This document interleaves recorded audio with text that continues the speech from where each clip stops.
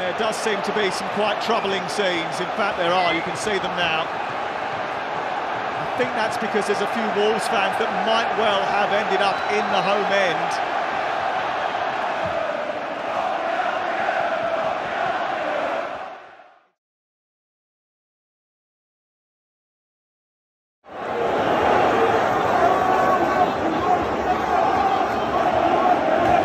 The police are coming onto the pitch here and going over to that corner.